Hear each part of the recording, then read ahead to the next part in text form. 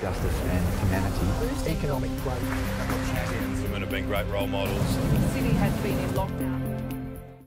The Deputy Leader of the Labor Party, Tanya Plibersek, joins me on National Wrap.